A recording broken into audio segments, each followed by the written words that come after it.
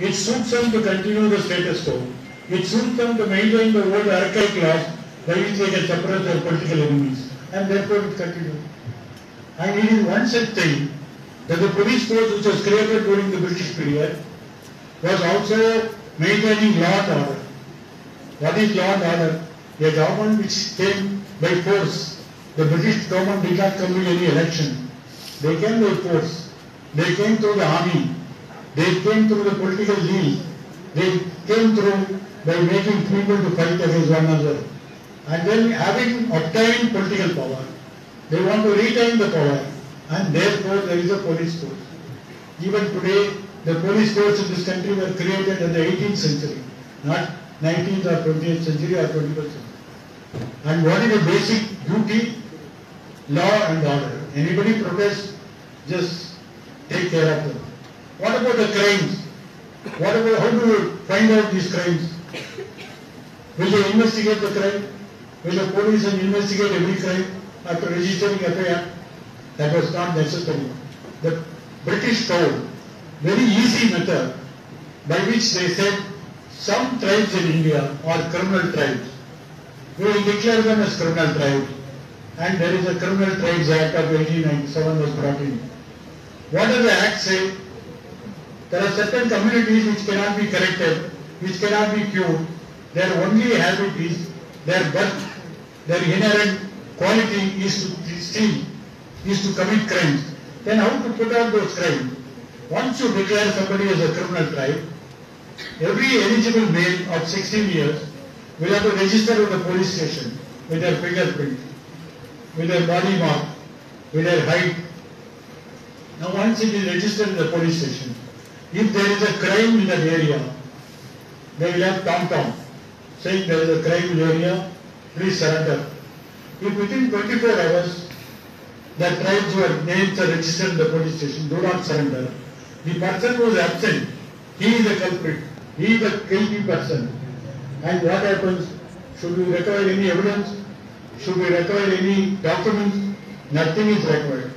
The police station became courts. The inspectors became judges. What is the punishment they give? Any punishment they can give. The man who is absenting, he is a criminal. That is how they were finding all crimes. Therefore, whole lot of communities declared as a criminal tribe were punished. Now the Congress party, the Communist party demanded this act should be repealed. Most ignominious article, the most detestable law in this world, a law against humanity, a law against all civilization. They said, please repeal this act. But the British was not willing. It was repealed much later. Then these communities were called as DNT, denotified tribe. I become denotified tribe, no problem, no. For the ordinary police, they are still the criminal tribes. So if this Jai Bhim, if you see, it starts with the first scene where people are coming out of jail. To come out of jail, a court must have held you guilty or court must have held you innocent, then you are coming out of jail. Policemen are watching. Then they say, all Yerulas stand there, all Vaddas stand there, all Koravas stand there, all Malayar, Chettiar, Naidu come this side. There is a caste segregation. For what purpose? They will go back again to the jail with some unresolved crimes. This story of Rajakannu, he was a very innocent person. He just makes out a living by selling some uh, false uh, hair, that wigs. And uh, during agriculture season time, they work as a agriculture laborer. They are a nomadic tribe. They belong to Parava community.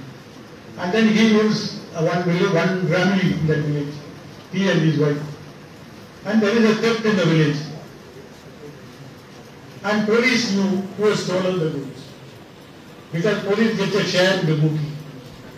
But then there is a pressure from outside to resolve the crime to the inspector, saying that what happened to that, uh, that rice mill owner's uh, stolen property.